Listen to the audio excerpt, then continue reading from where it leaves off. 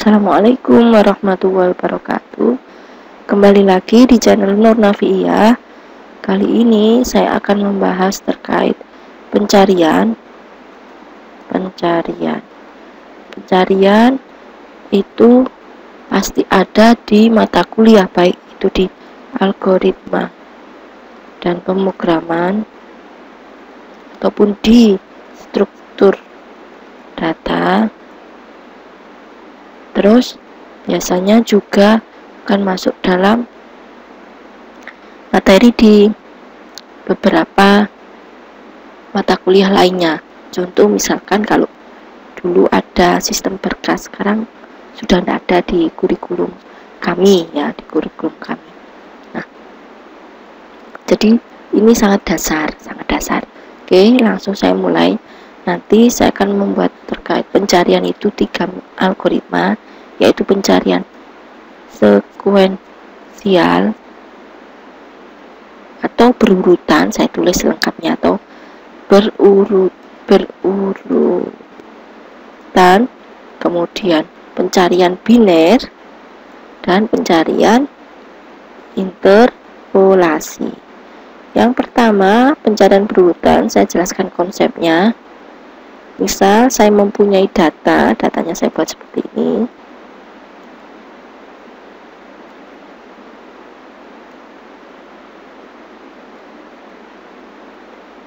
ya data dimulai dari indeks 0 ya. 0 eh maaf. 1 2 3 4 5 6 eh ada limanya. Angka limanya enggak ada. 7 8, 9 jadi dimulai dari indeks 0 misalkan 10 9, 8, 7, 6, 5, 4, 3, 2, 1 oke sudah. Ya yang dinamakan pencarian biner yaitu dia akan membaca setiap indeksnya setiap indeks ya. Contoh misal saya buatkan tracingnya penjelasannya. Misal saya menggunakan variabel yaitu in in nya dimulai dari 0 tetap bahasa Java harus dimulai dari 0 in nya kemudian data yang dicari misalkan datanya adalah 7 terus C sama dengan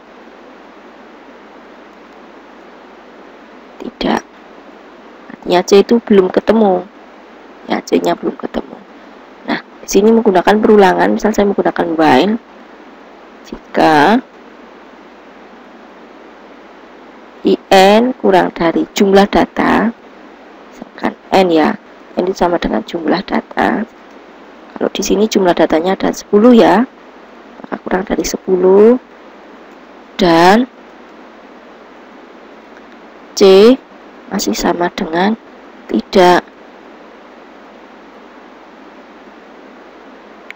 Nah, jika perulangan ini bernilai benar, berarti dia akan melakukan pengecekan if apakah data in sama dengan yang dicari.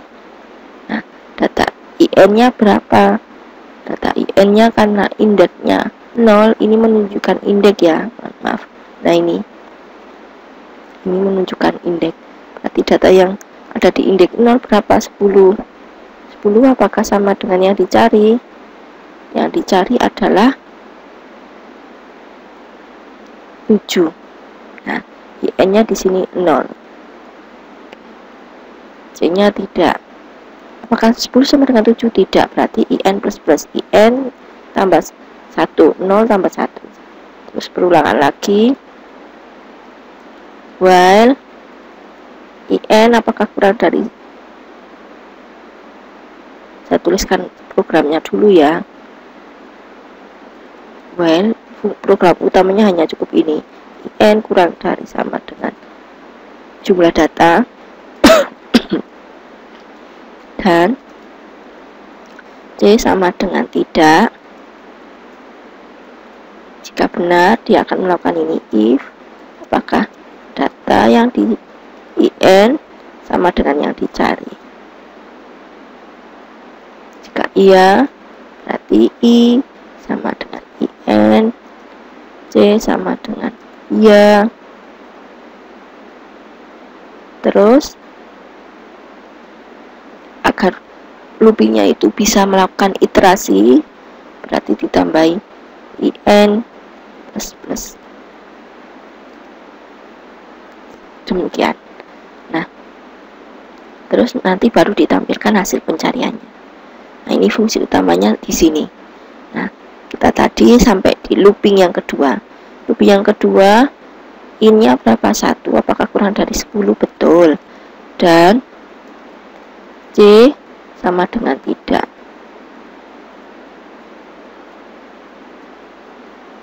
Nah, ini masih bernilai benar. Maka kita lakukan pengecekan if data in innya 1 9 apakah sama dengan yang kita cari 7 tidak berarti kalau tidak maka in sama dengan 2 in plus plus ya. Terus lanjut lagi. While apakah 2 kurang dari 10 ya dan C sama dengan tidak. Ya kondisi while ini masih bernilai benar. Berarti berikutnya pengecekan if apakah data in innya adalah 8 eh, 2 ya berarti 8 apakah sama dengan 7 tidak berarti in sama dengan 1 eh, maaf. Plus plus berarti 3 pengecekan lagi while. 3 apakah kurang dari 10 betul. Dan C sama dengan tidak. Berarti pengecekan if data ketiga. Adalah 7 apakah sama dengan 7 iya. Kalau iya berarti i sama dengan in in nya 3 terus c nya sama dengan ya. Kemudian berikutnya in plus plus berarti in sama dengan 4 nah terus melakukan mohon maaf ini pindah halaman. Nah saya taruh gini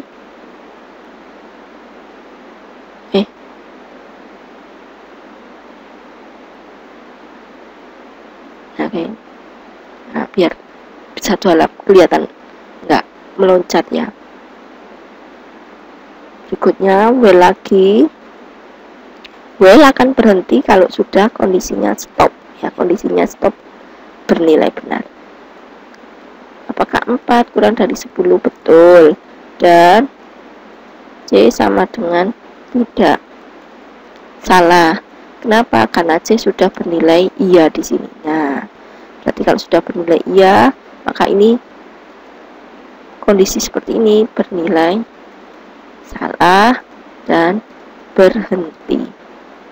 Nah, program ini akan saya buat dalam bahasa pemrograman Java misal. Nah, saya buat dulu. Ada paging searching, saya tambahkan new Java class. Sekuen karena ada inputan data yang dicari ya. Saya pakai scanner. Berarti saya import scannernya dulu. Import java titik maaf titik u uh, util dot scanner. Terus fungsi utamanya public static void string args.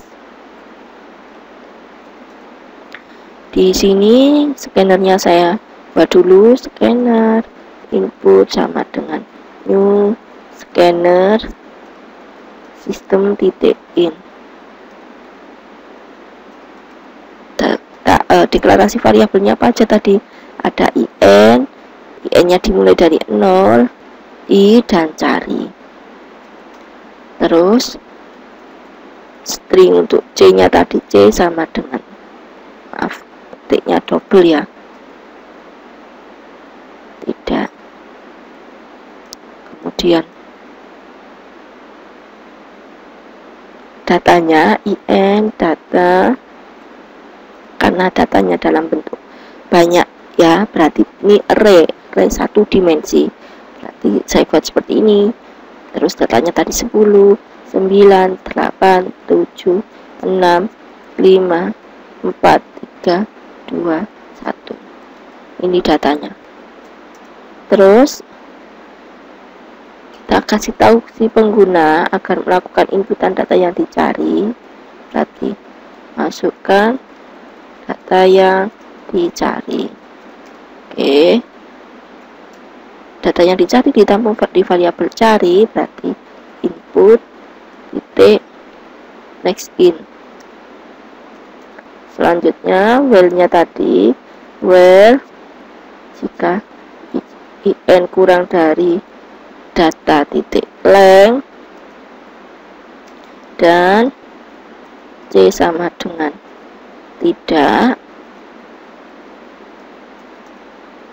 maka dia akan melakukan pengecekan if apakah data in sama dengan cari jika iya berarti i sama dengan in c sama dengan ya nah terus kondisi if ini untuk pengecekan berhasil menemukan. Nah terus while nya agar dia bisa melakukan iterasi atau looping berarti in plus plus. Nah kalau mau menampilkan hasilnya berarti sistem titik o titik print learn data yang dicari. Data yang dicari tadi. Saya taruh di sini plus datanya misalkan saya tampilkan. Cari. Ada di indeks. Taruh di sini indeksnya berarti i. Nah, selesai untuk melakukan pencarian berurutan atau sekuensial. Saya running misalkan data yang saya cari.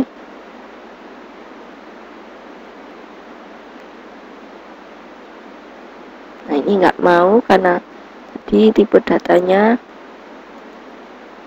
itu ya apa di sini dan belum ada nilai inisialisasi nilai awal maksudnya ini. Saya running data yang saya cari misalkan 7 7 ada di indeks ketiga. Ingat di bahasa pemrograman Java indeks atau ini apa ya namanya selain indeks ya indeks ya istilahnya. Selalu dimulai dari 0 jadi kalau sama mulainya nanti di sini satu tetap diceknya berarti di sini. Ya. Mungkin itu yang bisa sampai saya sampaikan. Jika ada komentar atau pertanyaan silahkan ditulis di komentar. Jika ada yang kurang jelas, sebelumnya mohon maaf kalau ada kalimat yang belepotan. Dan terima kasih. Assalamualaikum warahmatullahi wabarakatuh.